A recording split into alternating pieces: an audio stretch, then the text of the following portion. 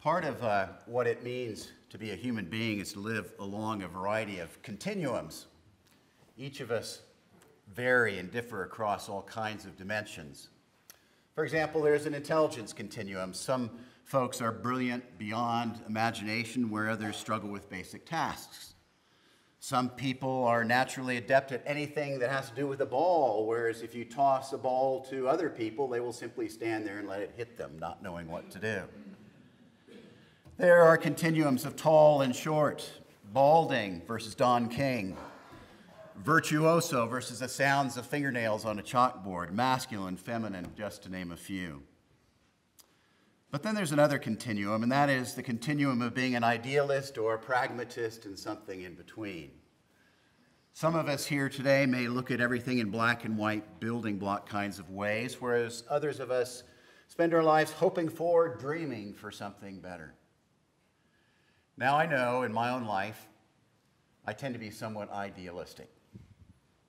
Started when I was just a young boy. I remember as a boy, I hoped that those friends that I made when I was five years old would be my friends now, so many decades later.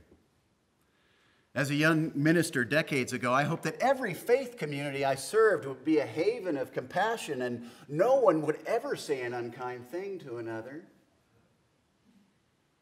Post 9 11, I hope that our country would remain unified,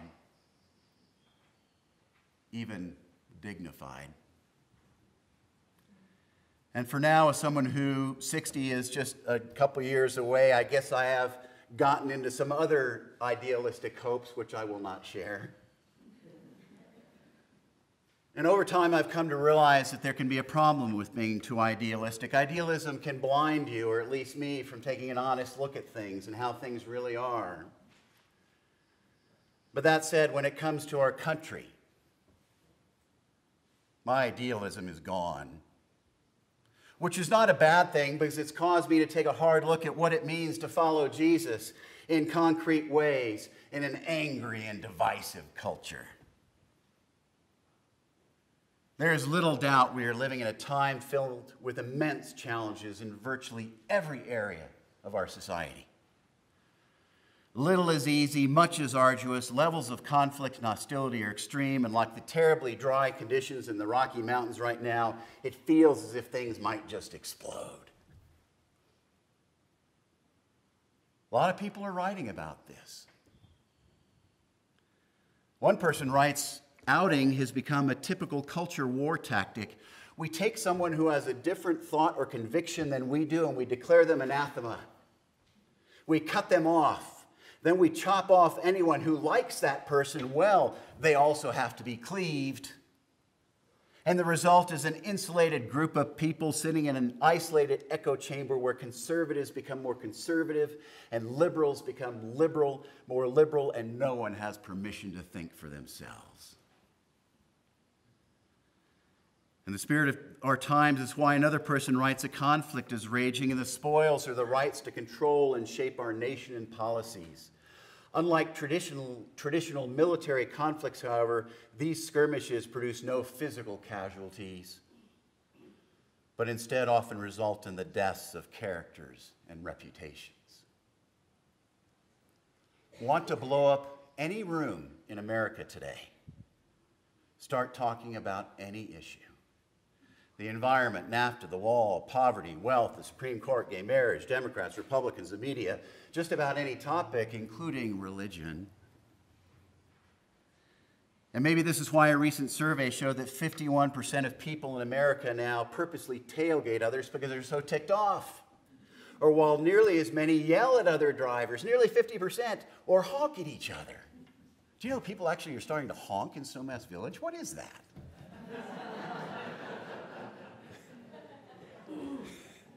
We don't even have a stoplight.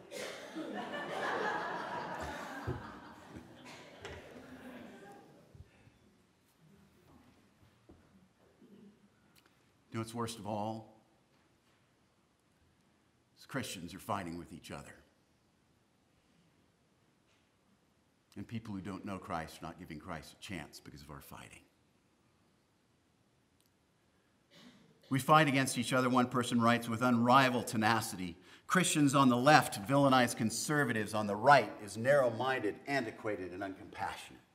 Christians on the right demonize, demonize, I say Christians on the left villainize, yes, Christians on the right demonize believers on the left as unorthodox, comp- compromising, and unpatriotic. Christians have joined and even facilitated our culture of coarseness Christians, sadly, in America are now known primarily for what they fight for. Another person writes Many Christians in America are seeking a domesticated Savior, one whose message is easy to swallow and easier to live by. Their Jesus hates the same people they hate. Their Jesus votes like they vote. And their Jesus does not make the nagging demands of the gospel on them. Now, I need to be very clear as citizens of our country in this valley and wherever we call home, we are called to get engaged. We are called to vote. We are called to believe in things. We are called to care about what is happening now and in the future. But the problem is that Christians, as Christians, we need to be careful not to let culture, partisanship, or issues define our faith, but rather Jesus. Jesus needs to be the driver of our lives more than any partisan perspective. As one person notes, the question is not should Christians be involved, but rather how should Christians engage? And what is interesting about all of that I said thus far is it's interesting how things don't really seem to change. Do you know that when Jesus was engaged in his ministry, people at the time were looking for a Messiah, actually a conqueror, who held their views? Believed the way they did and had the same definition of who the real enemy was. The religious people at the time of Jesus was looking for their Messiah to lead them to a political victory and the reestablishment of power in the proper hands. One scholar notes in reading the Gospels, Jesus seems almost unconcerned with political engagement. Sure, his teaching had political implications, but he was not interested in organizing a constituency to fight political battles. Rather, he was focused on what he was called to do, which was to demonstrate that God is love, to heal, to bring about justice, confront the most misdirected religious folks, to forgive, to offer a path forward, and to initiate the kingdom of God. Now, on all of this, I noted this week in our weekly e letter that one person wrote the following. He states As Christians, if we're going to survive, if we're meant to be, if we're going to be for the world as Christ meant for us to be for the world, we need to start spending a lot more time away from the world. Isn't that interesting? Suggestion is that we spend a lot more time away from the world. In other words, disengage. Now, while I disagree with this point, I'm not going to question this writer's faithfulness. While I disagree with this point, I'm not going to label him. I'm not going to question his integrity. And just because I disagree with his one point doesn't mean I won't read many other things he writes. But what I will say is that I do not believe as Jesus followers we are called to retreat from our culture and get away from our culture, but rather we are called to do precisely the opposite.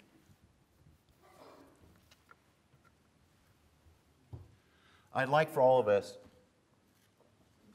to think about the fact that each of us here today has a massive opportunity.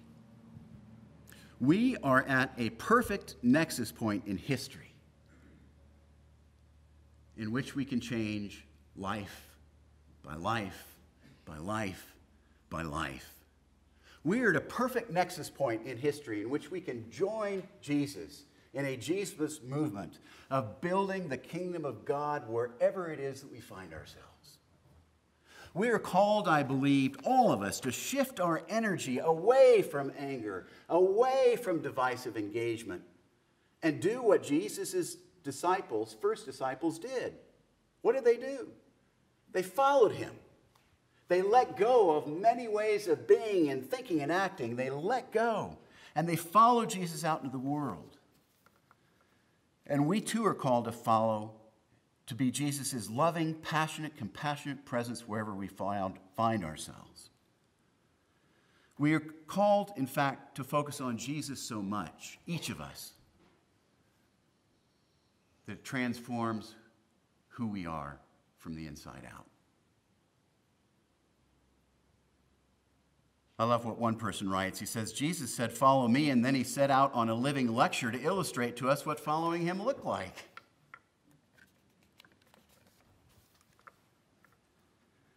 So, given all of this and the fact that I believe we have an immense opportunity to be difference makers, I begin this week with a question that I will speak a little bit more on today, but I'm going to continue next week. The question that I pose, that I've been thinking about, is how on earth do we follow Jesus in the midst of so much anger, divisiveness, and vitriol? How do we do it? Well, first, a quick point. I know that many of us are tired and exhausted by the anger and divisiveness and violence that surrounds us. I, I, I, I'm tired too. I get the need to find spaces to retreat from all of the yelling and hostility. I, I understand the need to have quiet places, to take some time away during each day. In the midst of our lives, we are all so busy, the last thing we want to do is take something else on. But taking something else on is not what I'm preaching about. Rather, what I'm talking about is an encouraging invitation to all of us to continue and to work hard at beginning to see things, engage, engage with others in a new way that brings about peace, a sense of purpose, calm, and relief. And while following Jesus is hard, hard work, it releases us to be who we really are, and that's a great thing because that is a relief. So, for my remaining few minutes this morning, let's begin, which I'll continue next week, looking at some things to keep in mind when it comes to following Jesus. There's a great pastor and preacher in the last century named A.W. Tozer. Astonishing. You may have heard what he wrote, but if you have or haven't, listen to what he wrote. Has it ever occurred to you that 100 pianos, all tuned to the same fork, are automatically tuned to each other? They are not of one accord by being tuned. They are of one accord, excuse me, they are of one accord by being tuned, not to each other, but to another standard to which each one must individually bow. So 100 worshipers met together, each one looking to Christ, are in heart nearer to each other than they could possibly be were they to become unity conscious and turn their eyes away from God and instead strive for closer fellowship. Said another way, our goal and my goal at the chapel is not to seek unity. It's just not. Rather, the goal for us is to focus so much on Jesus that we become unified because of that focus. Our unity needs to be around Christ, not issues, not party affiliation, not opinions, not partisanship. Often in marriages, I'll use the image of a triangle Picture two people who are very different from one another on edges of the triangle. Imagine two very different people. They disagree just about everything. They're about as far away as they can possibly be. But the third point is Christ. And the each the more that each one not looks to the other and what's going on here, but the more each one looks at Christ and moves closer to Christ, look what happens to the distance between them. For each of us to follow Jesus, to make a difference as the body of Christ, we must have unity, unity around Christ. Said another way, Jesus needs to be our focus, not where we happen to be on any particular issue or happen to align ourselves with being conservative or liberal. It's irrelevant. Now, you may have heard me say before, but I'm going to say it again. My vision, my hope, my dream, which I don't believe is idealistic, is that when any of us see a pew full of people that we will see a right wing Republican sitting next to a left wing liberal, sitting next to a migrant, next to the one who wishes to deport everybody that doesn't look like him, next to an old man, next to a teen with blue hair, next to you fill in the blanks. Do you know why that's the vision? Because that's what the kingdom of God looks like. A very, group of very different people that are passionate about very different things, yet unified around Jesus with other differences actually ending up meaning very little. When looking for a church, or when you're thinking about your own church, breaks my heart because everybody, it's not everybody, but churches have people who do this. Don't think about whether the church is liberal or conservative or where it stands on this issue or that. Rather, take a look at how focused the church is on Jesus more than anything else, for such a place will have unity full of people that are going out making a difference despite their individual differences. Such a place will be like a hundred pianos, all tuned to the same fork.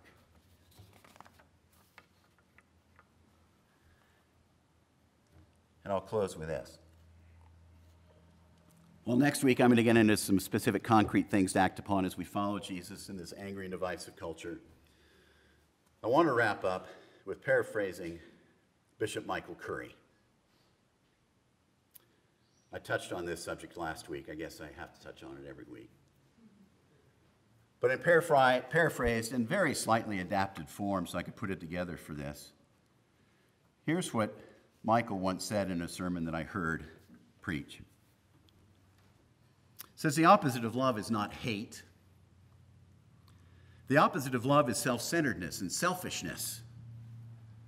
The opposite of love is putting me at the center. Said another way, the opposite of love is sin. Sin is when I put me at the center of my life instead of God. This is why Jesus said, Love God with all of your heart, all of your strength, all of your soul. And if you love God with all, if I likewise love you all by what I do, then there's not much room left for self centeredness or selfishness. And when I love you and when I love God, I end up loving me too. Love is how we follow Jesus. It's not pablum, it's the hard work of love is how we follow Jesus. Love is the standard by which to discern truth, not party platform. Love. And if something is not about loving God or loving a neighbor, it is not of God. God is love. To follow Jesus means to love your addicted neighbor, love the, the atheist, love the person who is immersed in Fox News, love the person who watches MSNBC all day, love the liberal, love the conservative, love the person with whom you fundamentally disagree, love the person who frustrates the hell out of you, love because that's the way the kingdom of God looks like it, all of us here today, regardless of our views or opinions are children of God. Like it or not. Love God, love people. That's how we follow Jesus. It's that straightforward and it's that hard. It's the hardest work there is, as hard and tough as the wood on the cross. These are immensely challenging times in America. But then again, they also were at the time of Jesus. People were occupied by a foreign army. I mean, it was a mess. Yet, in the midst of that mess, during the time of Jesus, everyone around Jesus was given an astonishing gift. They were given the opportunity to keep their eyes on Jesus, to follow Jesus, to make a massive difference in the lives of everyone they encountered. And what's interesting about the gift that was given to the people around Jesus is you and I have been given that gift today, right now, the exact same gift. We have a massive opportunity to follow Jesus and to change lives and to let go of so much else. I want to assure you of one thing the more you follow Jesus, the more you let other things go, the more you will find yourself feeling very different from a lot of people around you. The more you follow Jesus, the more you let things go, the more you don't engage in the anger and the violence and all of that stuff, the more you will find yourselves feeling not only different, but sometimes quite alone and isolated. But then again, I have to ask the question how else would we rather spend our lives than following the one who gave us life to begin with.